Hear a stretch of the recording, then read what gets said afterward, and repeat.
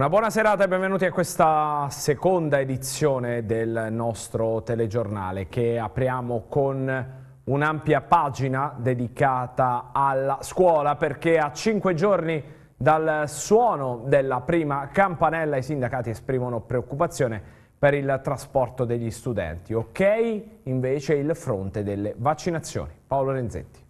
Segretario, ci siamo a questo punto, il 13 settembre riapriranno le scuole in Abruzzo, tutte in presenza, non ci sarà nessun posticipo, si eh, inizierà secondo calendario.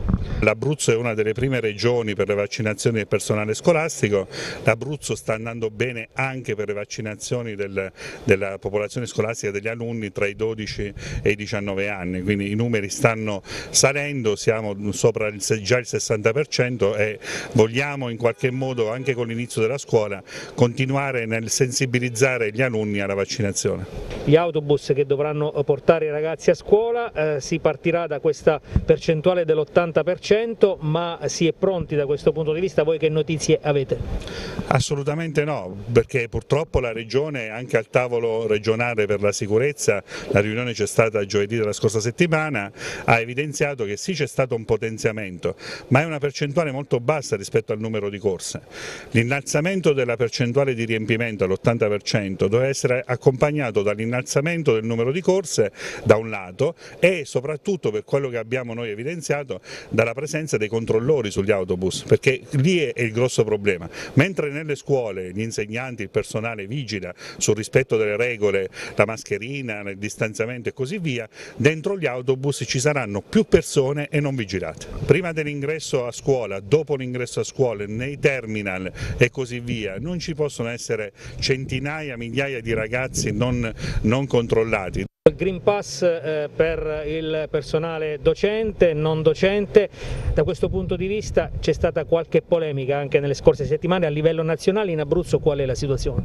No, in Abruzzo la situazione, dicevo, la percentuale dei vaccinati è molto alta, qui parliamo a regime per il 13 supereremo abbondantemente il 95%, se aggiungiamo a questi gli esentati si capisce bene che la percentuale è molto molto elevata, pochi casi di persone che devono ancora definire la propria condizione medica per l'esenzione perché sono condizioni a rischio, condizioni di salute a rischio per la vaccinazione, abbiamo veramente scarsissime segnalazioni di persone che in qualche modo vogliono sottrarsi ai, ai vaccini e stanno per il momento andando avanti con, con, i, tamponi, quindi con i Green Pass derivanti dai tamponi eh, periodici ogni due giorni. E a Teramo si prevede un rientro scolastico difficile e pieno di turbulenze. A protestare sono i docenti e gli studenti di alcune scuole che a causa di criticità sismiche hanno sedi frammentate. Il presidente della provincia di Teramo ricorda le difficoltà che il capoluogo terremotato sta vivendo in questi anni e considera già un miracolo che tutti gli alunni delle superiori potranno rientrare regolarmente in classi sicure. Tania Bonici Castelli. L'anno scolastico a Teramo riparte con qualche turbolenza, un rientro complicato dovuto soprattutto alla delocalizzazione di alcune scuole superiori forzatamente smembrate per criticità sismiche. È il caso dell'istituto professionale Alessandrini Marino, frammentato in più sedi, in attesa da anni di una sede unica. Uno spezzatino che docenti, studenti e genitori non sono più disposti ad accettare. E così si scende in piazza per protestare e chiedere di poter occupare le aule della l'adiacente liceo scientifico Einstein e magari delocalizzare quest'ultimo, riunendolo nella sede dell'ex Comi. Sono ormai quattro anni, eh, questo sarebbe il quinto, in cui purtroppo non avendo più una sede, una sede definitiva perché l'Ipsi è stato chiuso a causa del, del sisma diciamo, del, dell'agosto del 2016 e quindi definitivamente poi chiusa un'aula che avevamo ristrutturato nel 2017 e siamo stati sparpagliati in soluzioni transitorie e provvisorie da quattro anni. Cosa chiedete? Chiediamo una, una situazione che sia eh, giusta per tenere i ragazzi vicini ai laboratori, perché ovviamente questa situazione di, abbiamo chiamato noi spezzatino, purtroppo ci impedisce di avere le ore giuste vicine ai laboratori che sono lontani e quindi i ragazzi ovviamente devono fare, perché i ragazzi professionali devono fare, oltre al fatto che ovviamente c'è un discorso anche legato a quella che è tutta l'armonia anche proprio dell'istituto Alessandrini Marino. In un'affollata riunione nella sala consigliare della della provincia di Teramo, alla presenza di presidi, del direttore dell'ufficio scolastico provinciale e di tecnici, il presidente della provincia, Diego Di Bonaventura, ha tuonato contro queste proteste, ritenendole inutili discussioni sul nulla, visto la situazione attuale che vive il capoluogo teramano, città terremotata dal doppio cratere sismico. È già un miracolo che 500 alunni possano rientrare regolarmente in classi sicure. Non abbiamo problemi di classi, di spazi, non ce li abbiamo. Veramente. Io comprendo solamente e accetto lo sfogo, anche gli insulti, ne ho fatto sempre una carriera, l'ascolto, anche quando avevo ragione, degli insegnanti, dei genitori e degli alunni. Perciò non capisco quello che sta accadendo. Vi ricordo che amministro da due anni e qualcuno si dimentica sulla provincia, un anno abbiamo avuto un blocco, se, se siamo già scordati il lockdown, non siete scordati tutti quanti?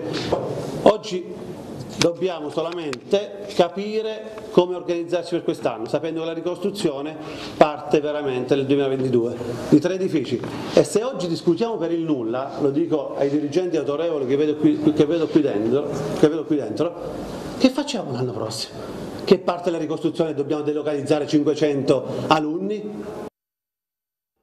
E anche Montesilvano si prepara alla riapertura delle scuole. Per far fronte alla carenza di spazi verranno allestiti dei container dove si terranno le lezioni. Giuseppe Dintino. Si avvicina il 13 settembre, giorno in cui gli studenti abruzzesi torneranno sui banchi di scuola. A Montesilvano è tutto pronto, ha dichiarato il sindaco De Martinis tutto rientrerà alla normalità e tutto sarà in qualche caso anche migliore di quello che è stato il passato, per quello che riguarda anche il trasporto è tutto organizzato, quindi ritengo che tutto vada per il meglio. Il distanziamento sociale imposto come misura anti-Covid ha acuito la carenza di spazi all'interno degli istituti scolastici. Come nell'anno passato per alcuni studenti di Montesilvano i primi 15 giorni di lezione si svolgeranno al Paladin Martin dove l'hub vaccinale chiuderà il 9 settembre rimanendo aperto solo per i richiami del vaccino. Poi però in accordo con presidi e genitori gli studenti torneranno nei pressi delle scuole in appositi container che fungeranno da aule. Già dallo scorso anno eh, a causa del Covid abbiamo dovuto trovare delle soluzioni che potessero superare appunto, le prescrizioni legate alle distanze, a tutto quello che riguarda insomma, questa pandemia. L'anno scorso abbiamo eh, trovato soluzioni alternative in quel del Paladin Martin per quello che riguarda l'istituto Ignazio Silone, quest'anno d'accordo con eh, il dirigente scolastico ma anche con i genitori abbiamo ragionato all'allestimento allestimento di container per riportare il, gli studenti insomma, nella, nella, loro sede naturale, cioè al, um, in via San Gottardo, in, uh, in strutture che comunque eh, avranno, garantiranno insomma, tutto quello che necessita ai ragazzi.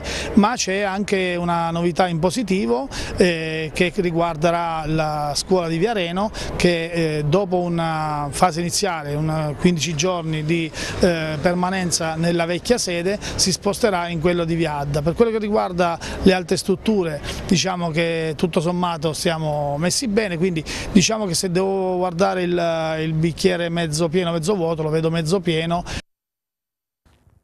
Lutto nel mondo della politica abruzzese è morto infatti la scorsa notte all'età di 68 anni Luciano Lapenna, sindaco di Vasto per due mandati consecutivi dal 2006 al 2016, esponente di spicco del centro-sinistra abruzzese e presidente dell'Anci Abruzzo dal 2014 al 2019, da, da tempo la penna era malato. Messaggi sono arrivati dall'intero mondo della politica abruzzese. Esprimo il mio profondo cordoglio, ha dichiarato il presidente della regione Marco Marsiglio. Di lui rimarrà il ricordo dell'impegno politico che per tanti anni ha profuso per la promozione e la difesa del territorio abruzzese. A nome mio personale e dell'intera giunta Porgo le più sentite condoglianze ai familiari. Il Partito Democratico Abruzzese si unisce al dolore della famiglia, dei cari, degli amici e dei tanti della comunità che hanno apprezzato le doti umane e politiche di Luciano Lapenna, sindaco di Vasto, consigliere regionale e tanto altro, soprattutto esempio e eh, punto di riferimento nella vita e nelle istituzioni. Ne sentiremo, conclude la nota del Partito Democratico Abruzzese, per sempre la mancanza. Al via nuovi lavori all'ospedale Covid di Pescara, al momento però non è previsto alcun aumento di posto. L'ASL monitora la situazione contagi in vista dell'apertura delle scuole. Dottor Caponetti, ci sono lavori che, che, sono in atto proprio in queste ore al Covid Hospital, state ulteriormente migliorando la struttura, soprattutto nei primi piani? Certo, noi avevamo ancora tre piani da completare, abbiamo ricevuto i finanziamenti e quindi completeremo anche questi piani, quindi tutti e sette i piani del cosiddetto Palazzo Rosso saranno aggiornati, nuovi e utilizzabili per l'ospedale. In base a questo è ipotizzabile, se non oggi, eh, più avanti un aumento di posti letto qualora dovesse essere necessario? Beh, quelle strutture che andiamo a realizzare sono pluripotenti, nel senso che all'occorrenza possiamo trasformarli anche in posti Covid se, se fosse necessario. L'idea è quella di utilizzarli per altri reparti che pian piano trasferiremo dal monoblocco qui in modo da dare più respiro al monoblocco. A proposito di Covid, i dati delle ultime ore sono eh, dati abbastanza rassicuranti sia per quanto concerne i positivi, i ricoveri e anche le persone che si trovano in terapia intensiva.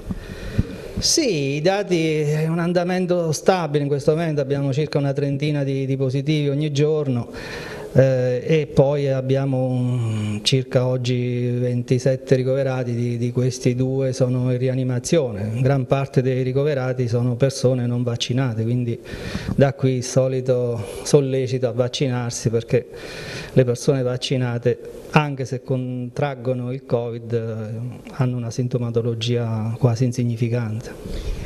L'estate è finita, eh, tra uh, meno di una settimana apriranno le scuole, insomma, volendo fare qualche previsione per i prossimi giorni, insomma, questa riapertura in presenza delle scuole potrebbe creare qualche problema, c'è qualche preoccupazione da questo punto di vista?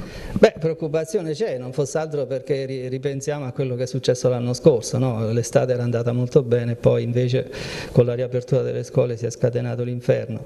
Eh, quest'anno dovremmo essere più protetti dalla vaccinazione che almeno per quanto riguarda gli individui adulti e, e siamo in attesa e stiamo armandoci da un certo punto di vista, speriamo che le cose eh, vadano meglio dell'anno scorso, ripeto abbiamo degli elementi oggettivi per pensare che così sia.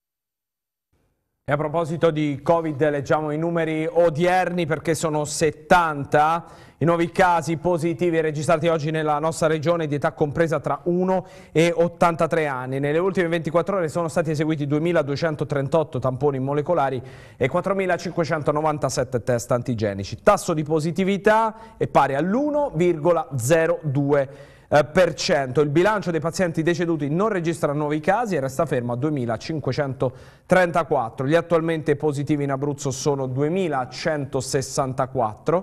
83 pazienti, numero invariato rispetto a ieri, sono ricoverati in ospedale in area medica, 6 più 2 rispetto a ieri con due nuovi ingressi in terapia intensiva, mentre gli altri 2075 sono in isolamento domiciliare con sorveglianza attiva da parte delle ASL. Vediamo i cambiamenti di numeri provincia per provincia, più 16 nuovi contagi in provincia dell'Aquila, più 17 in provincia di Chieti, più 2 in provincia di Pescara, più 41 in provincia di Teramo, ampiamente la più colpita, 654 sono persone fuori regione con un decremento di 3 unità e 119 per i quali sono in corso verifiche sulla provenienza.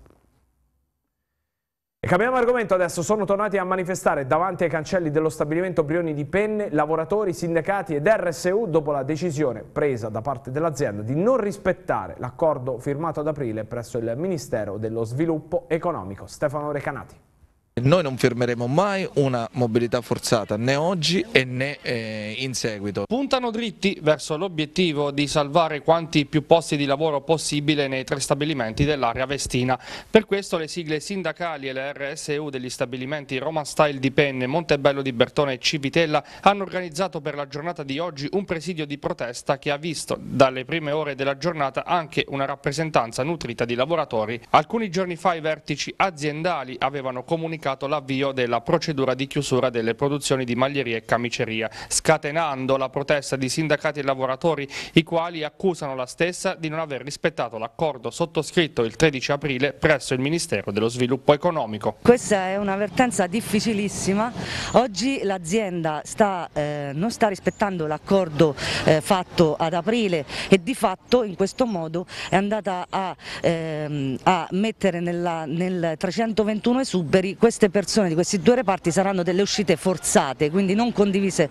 con eh, i sindacati. Intanto nella giornata di domani è previsto un nuovo incontro tra sindacati, RSU, azienda e Regione Abruzzo con l'assessore Pietro Quaresimale pronto a chiedere ai ministeri di chiarire una volta per tutte i termini della situazione. Ci sono delle dichiarazioni ufficiali, questa volta noi vogliamo che l'azienda realmente ci dica qual è il suo obiettivo e qual è la sua strategia e qual è il suo piano industriale, ma con i fatti, non più con dichiarazioni che dopo vengono smentite. Questa situazione ci ha messo in grave difficoltà, ha messo in difficoltà un intero territorio perché non stiamo parlando solo delle 70 persone del reparto maglieria, ma stiamo parlando che questa situazione può essere, si può ripetere anche per altri reparti. La salary review riguarda una parte dei lavoratori a cui per esempio ad aprile si sono dati premi per obiettivi, per target, non so quali target abbiano potuto raggiungere e aumenti della RAL, cioè della retribuzione annua lorda. Poi c'è la grossa fetta dei lavoratori, circa 900, dove invece si fa la spending review, cioè si taglia il salario, il numero delle ore, si toglie i premi. E questo non è che stiamo parlando di briciole, ma se stiamo parlando del taglio del, dell'orario di lavoro del 2016 più l'eliminazione del premio di del 2020 sono circa 5.000 euro in meno su una base di circa 20.000 euro, quindi stiamo parlando di persone su cui si taglia il salario, mentre su altri si aumenta. Questa è una cosa inaccettabile e le persone dovrebbero essere arrabbiate con questa azienda perché questa gestione sinceramente non è condivisibile. In Abruzzo terminata la stagione dei saldi, bilancio positivo secondo Confesercenti per cui è stato importante l'apporto dei turisti. Settembre porta via i saldi in Abruzzo. Dopo mesi e mesi di restrizioni, chiusure e sacrifici, questa stagione di acquisti era parecchio attesa dai commercianti e dagli esercenti della nostra regione.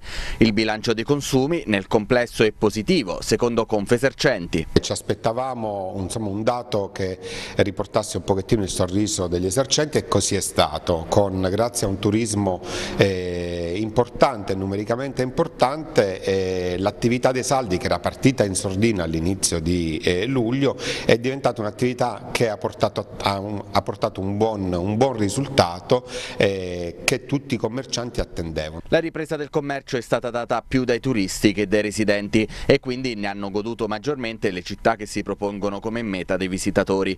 Dopo il boom dell'online speriamo che si torni a frequentare i negozi, ha detto al TG6 il direttore Taucci.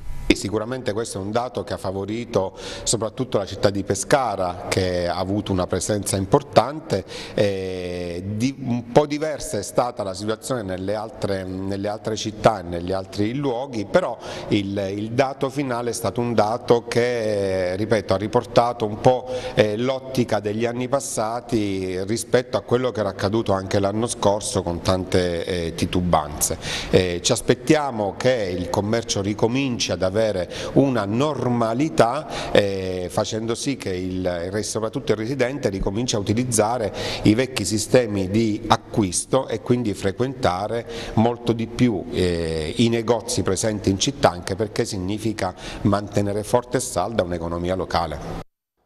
Dopo Montorio Alvomano anche il comune di Teramo si mobilita per l'accoglienza dei profughi afghani giunti in Abruzzo a fine agosto. L'amministrazione D'Alberto è alla ricerca di abitazioni da destinare ai rifugiati, mentre l'associazione Casa del Popolo inizia una raccolta di beni di prima necessità.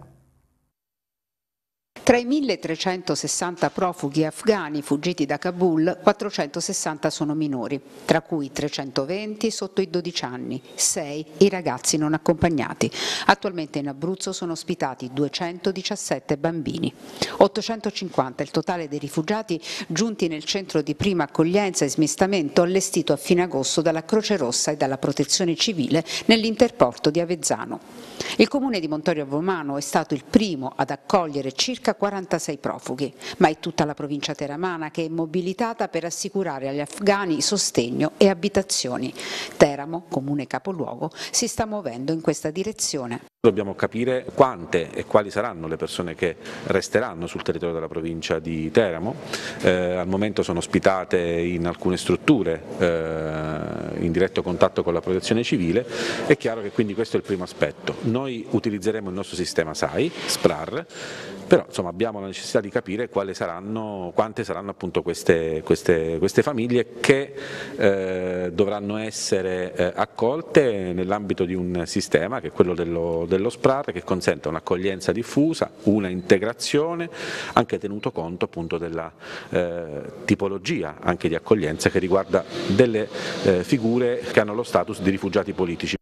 L'accoglienza migliore per questa tipologia di famiglie eh, è proprio quella degli appartamenti, perché comunque è necessario intanto ospitare le famiglie nel loro insieme, nel loro complesso, eh, un'accoglienza diffusa eh, che appunto faciliti anche e soprattutto l'integrazione. Diciamo siamo ancora in una situazione di eh, emergenziale, di gestione emergenziale, ma ci stiamo attrezzando appunto come, come comuni nel, con il coordinamento ovviamente della prefettura e di tutti gli attori attori istituzionali per poter definire un'accoglienza eh, che sia la, la più adeguata possibile per eh, le famiglie afghane. Intanto l'associazione Casa del Popolo di Teramo ha iniziato una raccolta di beni essenziali per tutte le persone in fuga dalla guerra in Afghanistan e rifugiate nella nostra provincia. I beni che verranno raccolti nella sede di via Nazario Sauro 52 a Teramo saranno prodotti per l'igiene personale, farmaci da banco, intimo nuovo da uomo, donna e bambino, trolley e valigie in buone condizioni. Parliamo adesso di elezioni amministrative, sono sei le liste civiche che supportano la candidatura a sindaco di Roseto degli Abruzzi di Mario Nunez, uomo vicino al responsabile regionale di Azione Giulio Cesare Sottanelli. Lo ascoltiamo. Beh, nasce, affonda le radici in un percorso ormai di qualche anno con eh, la spinta dal basso di giovani, di imprenditori, di operatori turistici, ma anche di persone che hanno dato la vita per la politica rosetana.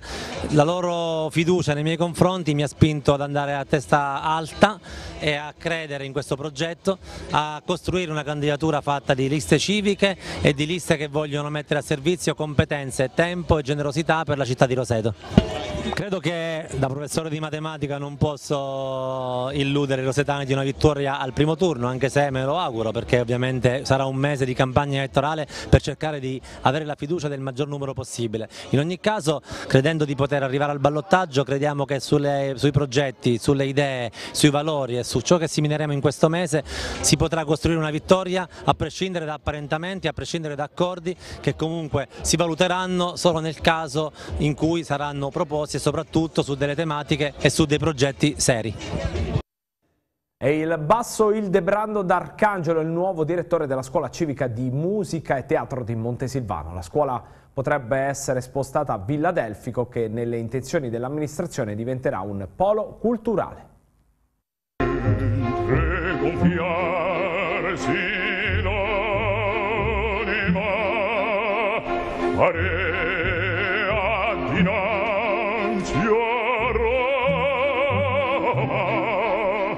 Sono molto fiero e felice di poter eh, dare alla città eh, i 32 anni di eh, bagaglio culturale e spero di, di poter eh, trasmettere qualcosa di veramente positivo.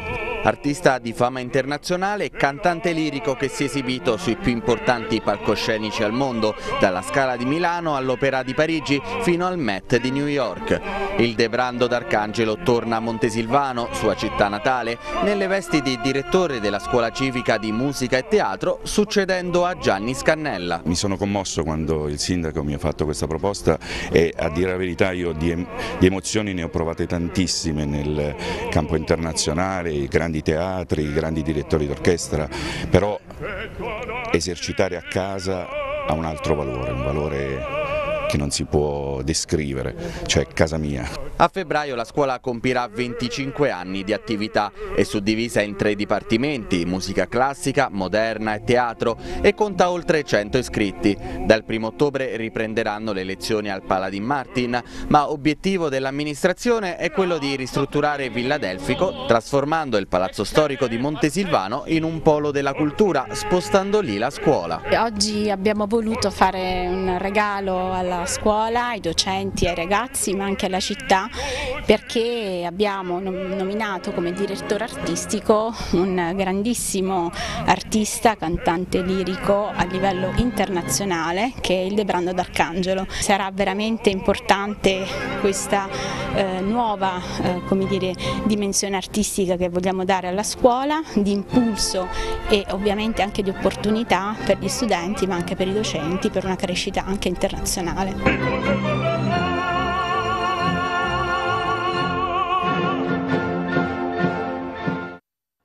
Adesso apriamo la pagina di sport e calcio di Serie C, designazioni della terza giornata. Pescara-Vispesaro affidata a Emanuele Frascaro di Firenze, Modena Teramo a Fabio Pirrotta di Barcellona Pozzo di Gotto. Intanto due vittorie quasi in fotocopia consegnano il primato solitario del girone B al Pescara unica squadra a punteggio pieno, ma sono ancora tanti gli aspetti dove lavorare e alcuni atteggiamenti leziosi non sono piaciuti all'allenatore Auteri che nel frattempo a Carrara ha fatto subito debuttare gli ultimi arrivati Clemenza, Rauti e Rizzo. Andrea Costantini. Due giornate di campionato, 180 minuti giocati. E il Pescara è già solo in testa alla classifica, punteggio pieno, un dato incoraggiante che può aiutare la squadra a lavorare meglio e a dare positività all'ambiente, ma che non può e non deve fare minimamente pensare che tutto sia facile. Le due vittorie con Ancona Matelica e Carrarese hanno messo in evidenza il potenziale del Pescara, la voglia di vincere le partite nel finale, ma anche che i margini di crescita sono enormi. E dal punto di vista tecnico-tattico, con la necessità di assimilare i concetti di Auteri e dal punto di vista mentale. Aspetto questo sottolineato dallo stesso tecnico quando ha parlato di una squadra che si è specchiata troppo anziché infliggere nel momento più propizio il colpo di grazia agli avversari. Un copione che si era già visto con l'Ancona Matelica. Anche in questa ottica va vista la sorprendente mossa dello stesso Auteri di cambiare l'intero tridente all'intervallo. Nessuna bocciatura tecnica ma un forte segnale ad avere un atteggiamento di chi vuole chiudere la partita senza rilassamenti che possono essere deleteri. La partita di Carrara ha segnato anche il debutto degli ultimi innesti di mercato. Da Clemenza, titolare e cambiato all'intervallo, a Rauti, entrato a inizio ripresa, fino a Rizzo, il cui impiego ha portato al cambio di modulo col passaggio al 4-3-3. Rizzo che ha chiuso la partita da terzino sinistro per l'espulsione di Nzita. Oh, non vedevo l'ora di, di, arrivare qui perché è stata una trattativa molto lunga, poi alla fine meno male si è sbloccata e sono venuto qua, dai, sono molto contento. E qui abbiamo fatto, ho portato bene, dai, è andata bene, abbiamo vinto una grande battaglia, però già domenica ci aspetta un'altra, tutte le partite saranno difficili perché eh, la Lega Pro è un campionato durissimo, noi dobbiamo andare in campo come siamo andati oggi, con grinta e con le cose che abbiamo fatto col mister e abbiamo portato a casa una grande vittoria vittoria. C'è stata una telenovela, eh, Giuseppe, che è durata tanti 15 giorni. giorni. 15 giorni insomma, sì, che sì. cosa, che cosa insomma, è successo in quei giorni? Si aspettava che la Triestina potesse prendere un altro giocatore del tuo ruolo, probabilmente era quello il problema. Sì, sì, abbiamo aspettato, io quando ho saputo del Pescaro ho detto subito sì, poi ho aspettato la Triestina per liberarmi, poi c'è stato un po' di casini perché poi si è fatto male un mio compagno là a Trieste e poi si è fatto l'ultimo giorno per fortuna dai, è andato tutto bene. Andiamo in casa Teramo adesso, è arrivato all'ultimo giorno di mercato, Simone Rosso ha fatto domenica il suo esordio con la nuova maglia, il rapporto con il tecnico Guidi ha agevolato la trattativa ma l'ex Casertana spiega anche il percorso che l'ha portato fino al biancorosso. Che comunque io per tutta l'estate sono stato in contatto con il mister, avendo già, già avuto a Caserta gli ultimi sei mesi dello scorso anno. Eh, no, cioè diciamo di no, perché comunque ha sempre le stesse idee, che comunque si sposano con, con il giocatore che io sono, quindi non ho, cioè non ho fatto alcuna difficoltà ad apprendere i concetti, le idee che ha, perché comunque eh, l'ho già avuto, so che cosa vuole, so che cosa chiede e quindi penso che comunque anche chi il mio inserimento cioè, non abbia avuto tante difficoltà, cioè sotto cioè sotto l'aspetto del gioco, perché comunque è un sistema di gioco con idee e concetti che già conoscevo. Ecco. Eh, sono arrivato qua da poco, sì, però mi sento già parte integrante di questo gruppo che è formato da uomini veri, da giocatori forti. Eh, mi hanno tutti facilitato cioè, comunque il mio ingresso in squadra, sono stati tutti eccezionali e di questo li ringrazio.